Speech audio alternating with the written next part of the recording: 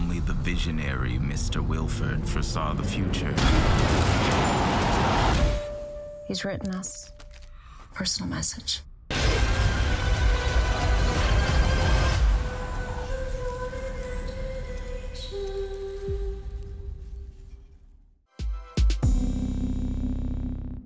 I'm uh, Andre Layton, who is uh, less of a fan of Mr. Wilford, and uh, am sort of when we when we meet, I'm a I'm relegated to the tail, uh, but am, am pulled out to to help with a situation on the train because in my past life I was a homicide detective, and um, and sort of through that gain access to the rest of the train, and I also have sort of big ideas about.